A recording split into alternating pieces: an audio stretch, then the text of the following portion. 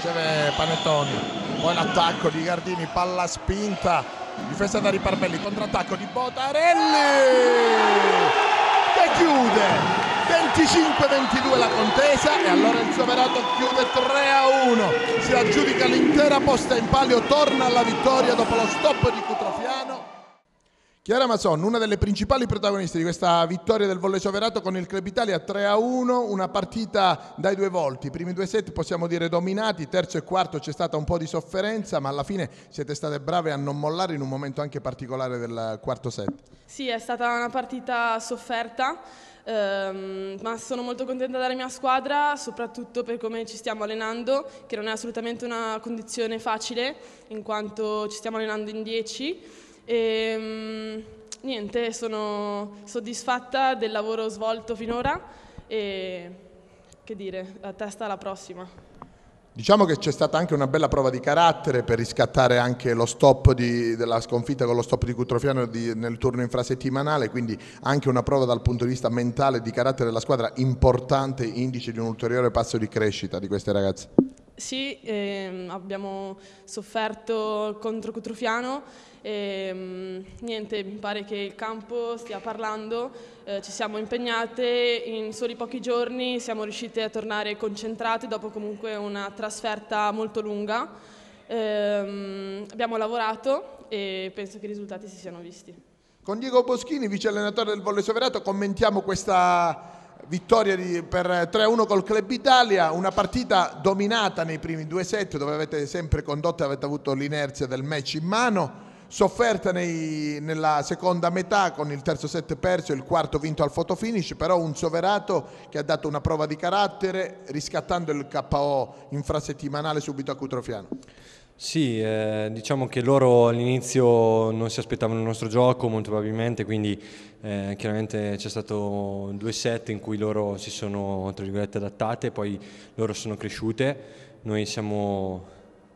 calate fisicamente, ma questo credo che sia nell'ordine normale delle cose dato la situazione attuale in cui siamo, nel senso che eh, veniamo da tre partite, una di fila all'altra, in cui non c'è stato tempo per, eh, per poter eh, recuperare. Eh, con la situazione in cui siamo in 10 è, è complicato, molto complicato. Quindi su questo punto di vista devo dire solo bravo, brave alle nostre ragazze, brave, veramente brave, perché non era facile, non era per niente facile, non era per niente scontato e soprattutto eh, noi abbiamo vissuto queste, questa settimana soprattutto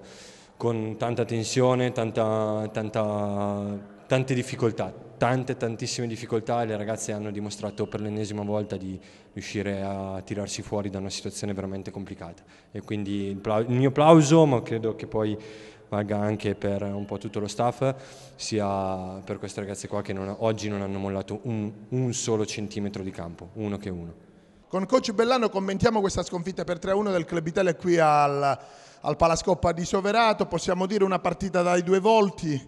primi due parziali, un uh, Club Italia più falloso, più contratto, uh, terzo e quarto set invece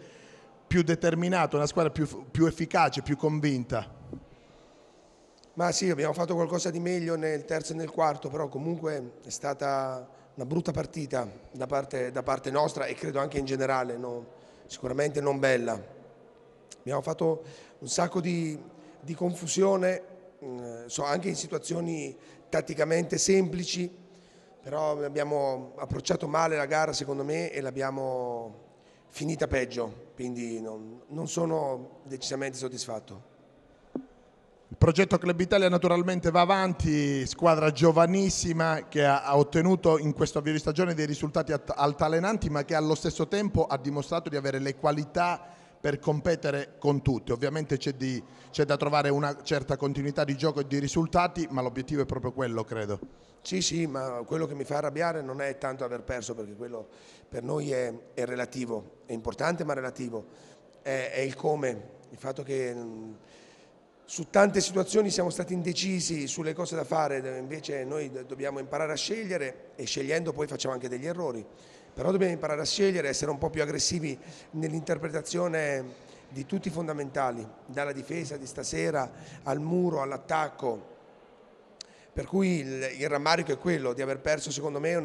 un'occasione in una situazione anche ambientale non facile che sono quelle per cui queste ragazze fanno il campionato di A2 per essere messe in difficoltà e poi dopo risolvere le difficoltà. Invece oggi davanti all'ostacolo, a differenza di quello che era successo a Cutrufiano,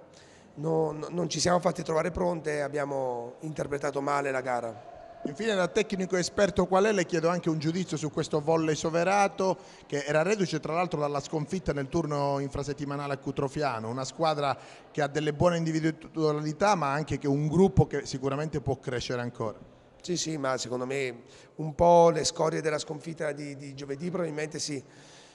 si, sono sentite perché anche loro in alcuni momenti hanno pasticciato parecchio, però le, le individualità ci sono, la squadra è, è, molto buona, per cui sotto questo punto di vista credo che loro saranno in lizza per, per i playoff e poi dopo per giocare nelle prime posizioni fino, fino alla fine.